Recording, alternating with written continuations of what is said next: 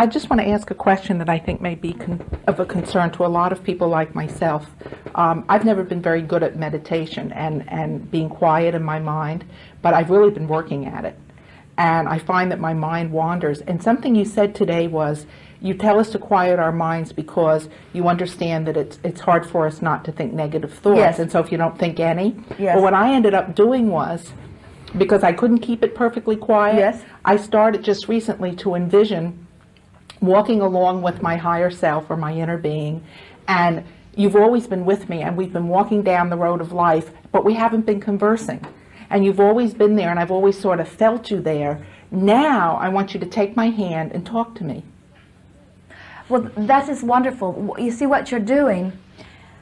You are choosing a valve opening thought and focusing there. In other words, that, that when you meditate, your goal is to not get carried away in thoughts that are valve closing. So we teach holding a note mentally or audibly or l- listening or counting the dripping of a I faucet. tried that The point of it is to hold your thought in a vibration that has no lack. Well, you found a way of doing that without asking your mind to do something your mind doesn't really want to do. Meditation is hard for most because you've trained yourself to be responsive to thought. And because you are responsive to thought, and then all of a sudden you say, I'm going to stop doing this thing I've trained myself to do all of these years, and I'm going to suddenly stop thought. And most have a very difficult time with it. That's why we encourage short segments of meditation. Actually, we would much rather see you in a rampage of appreciation. And what you are doing is similar to that. In other words, you are visualizing something and finding a good feeling place about it. It is most effective. well I felt then I felt uplifted and I felt good where before every time my thoughts strayed I ended up feeling bad and I would stop after the end of the 15 minutes instead of feeling uplifted feeling like I had failed meditation Well, what happens to many of you also is that you, you see, when the first time Esther sat to meditate, she had not spent time in this vibrational energy. In other words, when she sat to meditate, her desire to make the connection with that which she considered to be good was very strong. But she had no idea what she was doing. She, she, she didn't know what failing was. In other words, she, she just sat to do it. Where most of you have read so much, you've compared yourself to so many that you have lackful Yes. vibration about yourself relative to the subject, you see. And then when you sit in a workshop like this, in perfect vibrational harmony with the energy that is you, you achieve the same thing you achieve in meditation. Now your work is done. Get on with it. And what we mean by get on with it is find an object of attention, open your valve, and spray it all over it. Find an object of attention, open your valve, and spray it all over it. In other words, we promise you, you did not come here to quiet your mind. And the only reason that that is ever taught is to give you the touchstone of well-being, to help you recognize the difference between an open valve and a closed valve, you see. And after you play with your valve a little bit, you'll get really good with it. You'll, for example, feel the difference between the, the feeling that is evoked from you with these words peace, passion.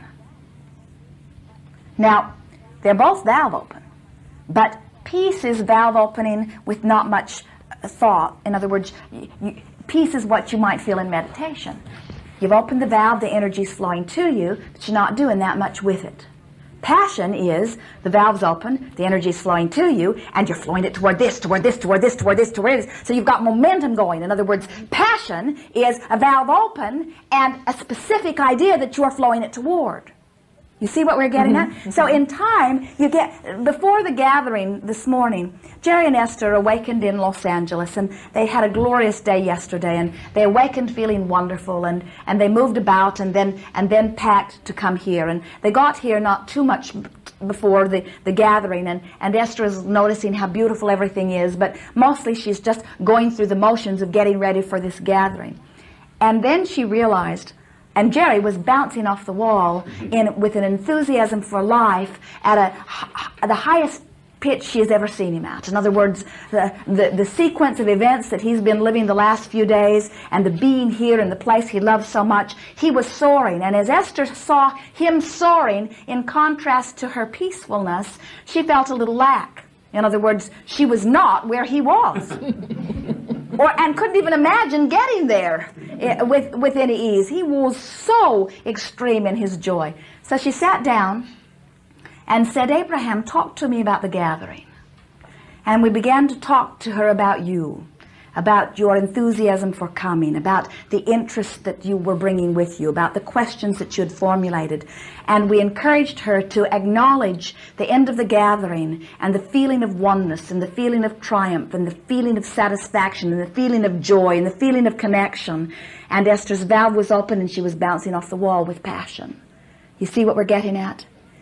You're, you, you will not feel much passion unless you hold yourself upon an object of attention for a period of time enough to allow the energy to really flow toward it. And so, meditation isn't, is not important at all.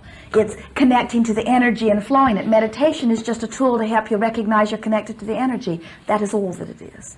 Many people use meditation. They use the word meditation, but what they really mean is workshop. They get into that good feeling place and then they offer imagery of things that they want. Well, we don't call that meditation. We call that deliberate creation. We call that creating of worlds. We call that creation. We call that fulfilling your purpose, you see. Don't get hung up on labels. Just feel your way through this. Well, then I tell Ralph that I have a lot of questions. And so I really would like us to talk so that we can, I want to share. It, it's a whole new idea to me that that they're getting something from me. Abs- well, you are and an I'm in my swimming pool, and I'm thinking, do you feel that? Do you feel Yes. how silky that water Yes. feels? And it, it's a whole new concept that I'm contributing to Good, them, good. as well as what I would like from them. You it's are more of a sharing. Blending, use the word, you are an extension of pure positive energy. And uh, you could not be without that, that could not be without you. In other words, it is, a, it is co-creation at its very best. As, and the more you appreciate, the more you allow that presence. And the more you allow that presence, the clearer your vision. And the clearer your vision, the more you allow that presence. In other words, it is a synergism that, that builds upon itself in a magnificent way. Good. But I want I want to be Esther and Jerry at the same time. You said something that we want to amplify just a little bit, and that is, as you say, I have all of these questions that I want answers to. We say, that's a little bit like going to a library and saying, give me a book. The librarian would say, a little more specific, please. And so when you say, I have all of these questions, we say, speak one.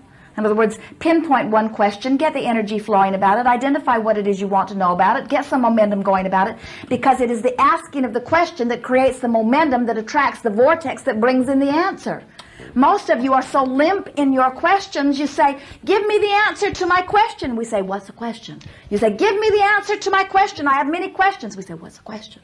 In other words, you've got to formulate the question which attracts the answer, you see. And, and what you're speaking about, your understanding of, of how it works, we want to amplify something because most think non-physical sitting up there with all of the answers just waiting to give them to you. So you say, okay, I'm ready, give them to me. And it doesn't work that way. It is by your identifying of what you are wanting that you attract the information that satisfies you, you see. We have